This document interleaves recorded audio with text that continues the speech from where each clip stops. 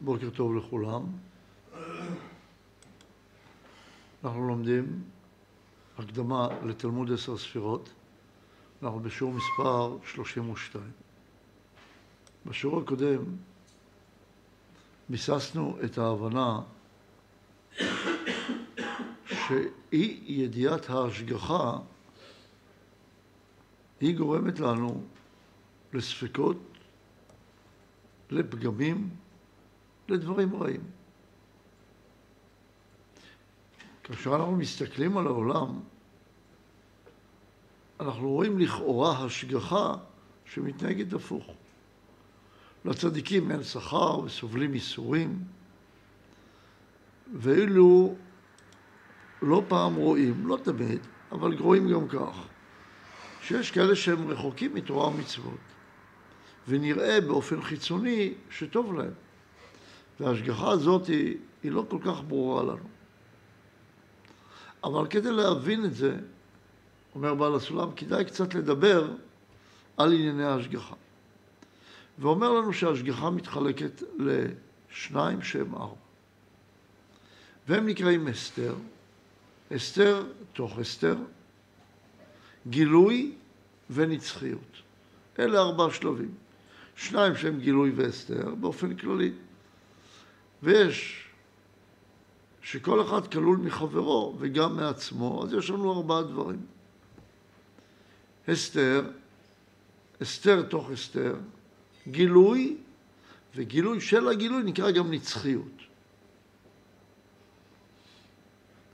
והתחיל להסביר לנו זה בשיעור הקודם, ואמר לנו שבשעה שמטיב לבריאותיו, אז פניו מגולות. דהיינו שהנברא יכול להרגיש בנפשו שהבורא טוב ומטיב. זה המצב המגולה. והגענו לאות מ"ח.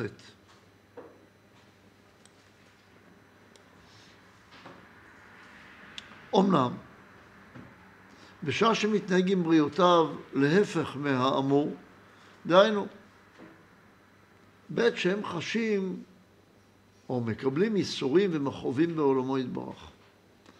זה נבחר לאחוריים של השם יתברך, אבל גם של השם יתברך, אבל לאחוריים. אז יש צד פנים שמרגישים את ההטבה, יש צד אחוריים שלא מרגישים את ההטבה. כי הפנים של הקדוש ברוך הוא, דהיינו מידת טובו השלמה, נסתרה מהם לגמרי. שימו לב, לא שהיא לא קיימת, היא נסתרה מהם.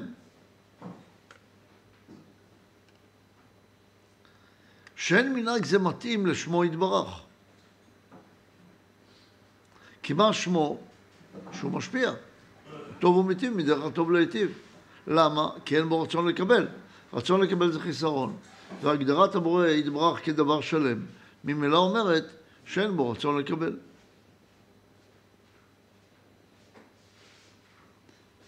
ולכן צד הפנים שלו היא מידה טובה שלמה. ואם אני לא מרגיש את טובו, אז זה לא מתאים לשמו יתברך, אז לא יתגלה שמו. אומר בדומה, ודומה ל, ל, לרואה את רעהו מאחוריו, שעלול להטיל ספק ולחשוב אולי אחר הוא. מה זה רואה אותו דרך אחוריו? לא דרך מה שהוא רגיל בו. כמו שכתוב, ואהבת לרעך כמוך. ואהבת לרעך כמוך, לא כתוב ואהבת לכל אדם כמוך. למי שהוא רעך, אז תאהב אותו כמוך. מי זה רעך? אז למדנו בחלק י' בתלמוד עשר ספירות, שאהבת רעים זה כמו אהבת אחים, אח לאחיו. שהיא אהבה שאינה מתפרדת לעולם. אם הגעת לחברות כזאת, אז בין החברים, אז תאהב אותו כמוך. אבל סתם בן אדם שאתה לא מכיר, תאהב כמוך? זה אומרים, ואהבת לכל אדם כמוך. מהו דווקא רעך? דווקא רעך. אז יש פה איזושהי מחלוקת. האם האנושיות קובעת, או ואהבת לרעך כמוך, אני השם, מי שחברך בדרך השם ואתם באחווה לעניין הזה, אז תאהב אותו כמוך. אחרת צריך לאהוב כל אדם. כל אדם אני צריך לאהוב. אם כולם נגיע לרעות, אז צריך לאהוב כל אדם.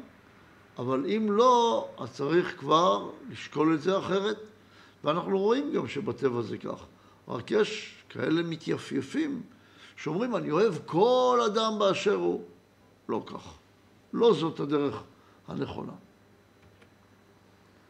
אבל גם בעניין הזה פה, שאם אתה אומר שהבורא הוא טוב, טוב ומיטיב, אז תשים לב שכשאתה אומר שהבורא הוא טוב, אבל אתה לא מרגיש ככה, זאת אומרת, הוא לא הראה לי את פניו. אז אני ספק, רגע, זה הבורא? זה לא הבורא? הרי הוא טוב, אז איך יכול להיות שאני מרגיש רע? אז זה מייצר אצלנו ספק. צריכים לראות מה עושים עם הספק הזה. אבל זה נקרא פנים ואחוריים. זה נקרא גילוי פנים, או הסתרת פנים. אז אני, כשאני אומר שאני בהסתרה, זאת אומרת שהבורא לא מגלה לי את פניו. וזה שאומר הכתוב, וחרה אפי, והסתרתי פניי מהם. שימו לב, הוא לא אומר אני אעשה להם רעות. למדנו בתשובה י"ז בחלק ד' מה זה נקרא דרך צדדים? ריבוי חסדים ומיעוט חסדים. לא אומר אני אעשה לכם רע, חס ושלום הבורא לא עושה רע. הוא רק ממעט את החסדים, הכוונה קצת מתרחק, אבל הוא מתרחק כי אתה התרחקת. אז אתה רואה אותו מרחוק. מה זה רחוק? הרצון לקבל שלך.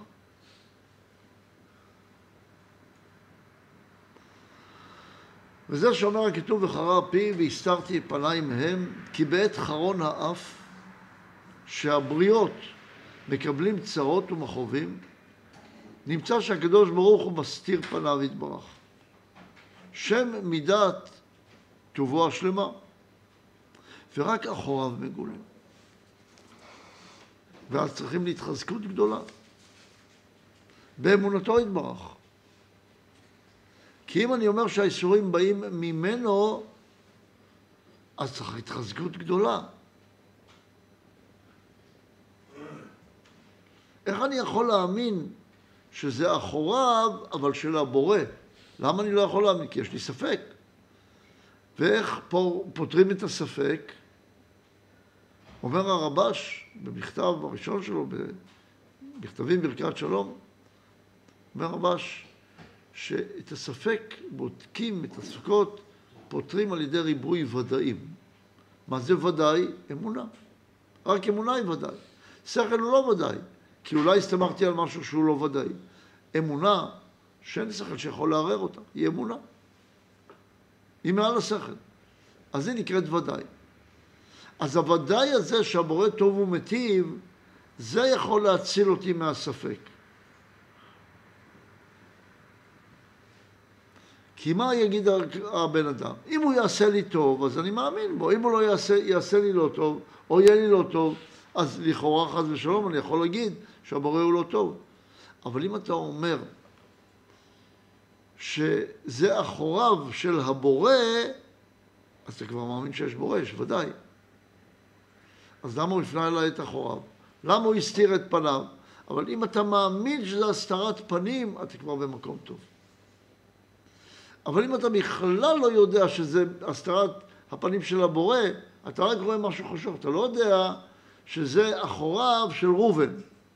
זאת אומרת, זה, לא יודע מי זה, לא יודע מה קורה פה. אז זה כבר הסתר תוך הסתר. יש איסורים, אבל אתה לא מייחס אותם לבורא.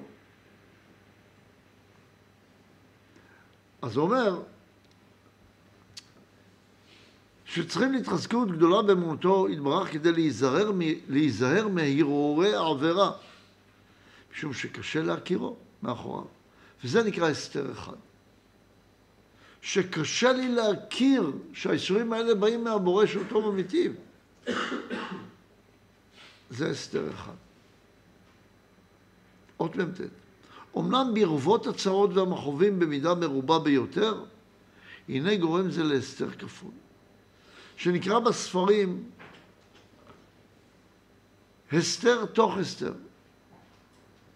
כמו שכתוב, הסתר אסתיר את פניי, לא אסתיר, הסתר אסתיר. שפירושו שאפילו אחוריו יתברך אינן נראים. זאת אומרת, אם הייתי רואה, הייתי רואה, זה אחוריו של ראובן, שאני מכיר בו, שהוא טוב אליי. אבל אני בכלל לא רואה שזה ראובן. בכלל לא רואה שזה אחוריו, לא רואה פה אף אחד. שפירושו שאפילו אחוריו יתברך אינם נראים.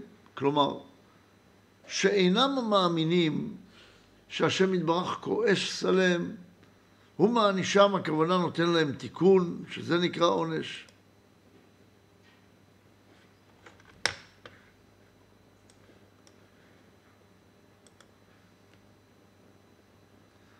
אלא תולים זאת במקרה ובטבע.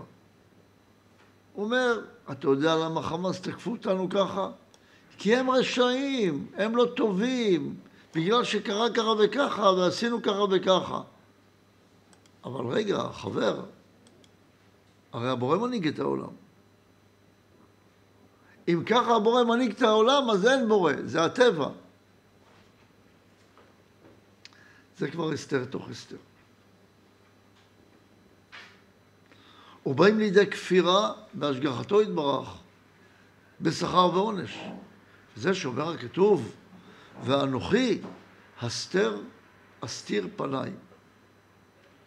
למה זה? כי פנה אל אלוהים אחרים. מה זה אלוהים אחרים? כוכבים ומזלות. דהיינו, כוחות הטבע מנהלים את העולם. דהיינו שבאים לידי כפירה, עוברים לגור בכפר. צריך כפרה גדולה על זה. ופונים לעבודה זרה, חס ושלום. מה זה עבודה זרה אם כך? אם אדם מאמין שהשכר והעונש שלו באים מהטבע, מחוקי הטבע, יוצא שאת הטבע הוא עובד. אומר, אני צריך לעבוד עכשיו בשביל להשיג תמורה חיצונית. אז מה, הרי כל הזמן אנחנו עובדים ככה, אני מושיט את היד לכוס, ואז אני אומר, אם אני אחזיק את הכוס, אז היא תתרומם. אם אני לא אחזיק את הכוס, היא לא תתרומם. אם יהיה לי עכשיו מכונית, אני אוכל לנסוע איתה לירושלים, אם לא יהיה לי מכונית. אני לא תולה את זה בטבע? לא כולם, אם כך עובדים עבודה זרה? תשובה, אנחנו מרגישים ככה, שזה בטבע. אבל אנחנו מאמינים שאין עוד מלבדו. האם האמונה הזאת היא בוערת בליבנו? לא תמיד, אבל לשם אנחנו מכוונים. עבודה זרה היא גם במחשבה, שאני בטוח שזה ככה. אנחנו מאמינים שאין עוד מלבדו.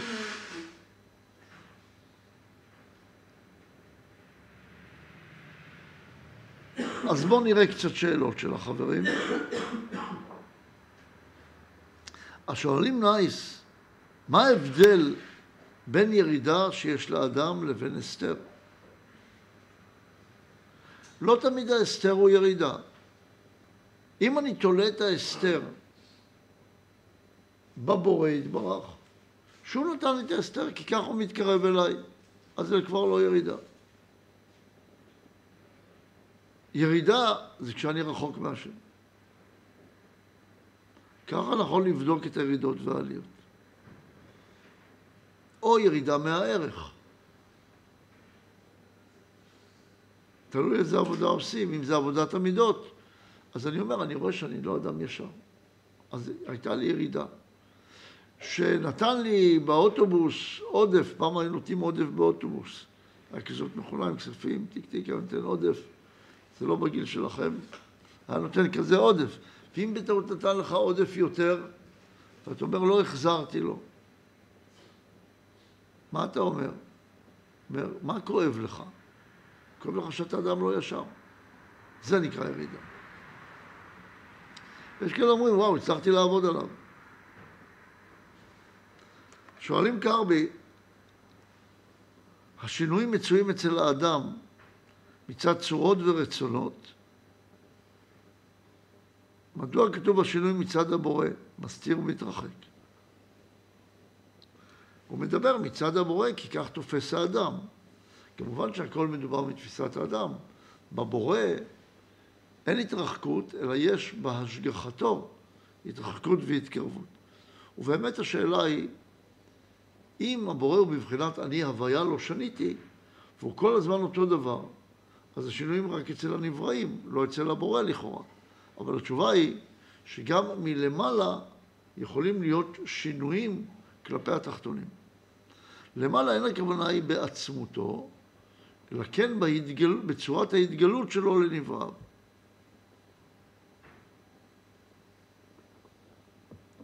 שגם הגילוי הוא איזשהו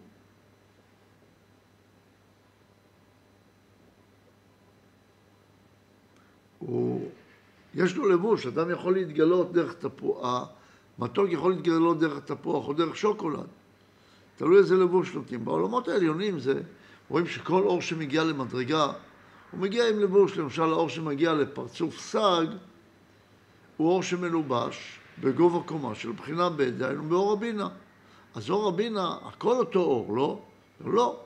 אור שמגיע לסג הוא מגיע כבר עם לבוש מיוחד, והוא לא בא נקי, לא מקבלים אור נקי. תמיד את האור מקבלים עם לבוש. ולכן ההשגחה היא דרך הלבושים.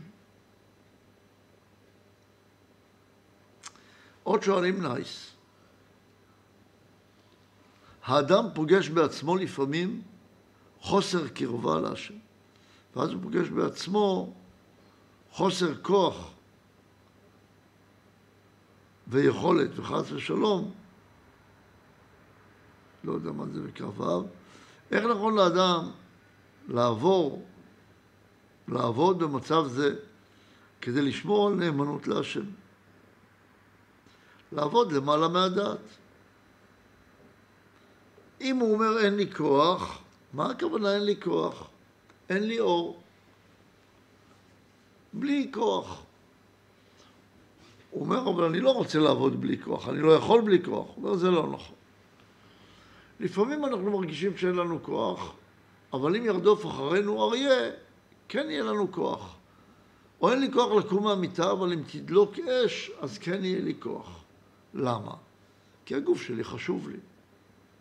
אם אני אגדיל את החשיבות לקרבת השם, אז אם אני מרגיש רחוק מהשם, ודאי שיהיה לי כוח. אז מה הבעיה? שאני לא מחשיב אותו. אני החשבתי את האור שקיבלתי ממנו. אז אם הוא לא נתן לי את האור, ואני מרגיש במצוקה, אז אין לי כוח לעבוד לקרבת השם, מה הכוונה אין לי כוח? הוא לא חשוב בעיניי. החשבתי את האור כשקיבלתי את האור, לא אותו. לא את נותן המתנה. אז אם הוא לא נתן לי את מה שאני רציתי, אם הוא לא ישמע את הדעה שאני רציתי, אז אני כבר דוחף אותו ממני. זה מראה שלא רציתי אותו, רציתי את האור שהוא נתן לי. ולכן אני אלך לחפש את זה במקום אחר. אז בואו נסכם מה למדנו היום. היום, אמרנו בשיעור הקודם, שיש לנו לראות דלת מדרגות בהשגחת השם. ההשגחה מתחלקת לדלת, והיום דיברנו על שתי מדרגות. אמרנו שארבע הם שתיים בעצם, של הסתר וגילוי. וגם ההסתר והגילוי, כל אחד מהם מתחלק לשניים, והם שניים שהם ארבע. יש לנו הסתר, הסתר תוך הסתר, גילוי וגילוי תוך גילוי שהוא קורא לו נצחיות. היום דיברנו על בית הסתר א' והסתר ב',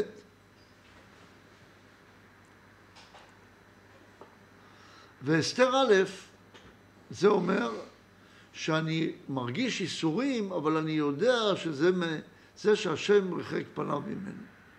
שאני רואה את אחוריו, אבל אני עדיין מייחסת אליה השם. אסתר תוך אסתר, שאני חושב שזה בא מהטבע, אני בכלל לא מכיר שיש השם. אני חושב שהאיסורים באים בגלל המקרה, בגלל הטבע, בגלל שקיבלתי מכה, בגלל שהשכן שפך את המים על הכביסה שלי. זאת אומרת, אני מייחס את זה לכוחות הטבע, מייחס את זה לחמאס, לערבים, לאיש שחתך אותי בכביש.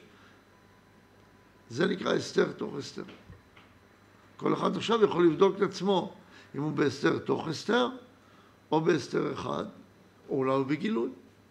מה, מה הם הגילוי ומה זה נצחיות? זה נראה בעזרת השם בשיעור הבא. זה עד כאן היום, תודה רבה לכולם, שיהיה יום טוב.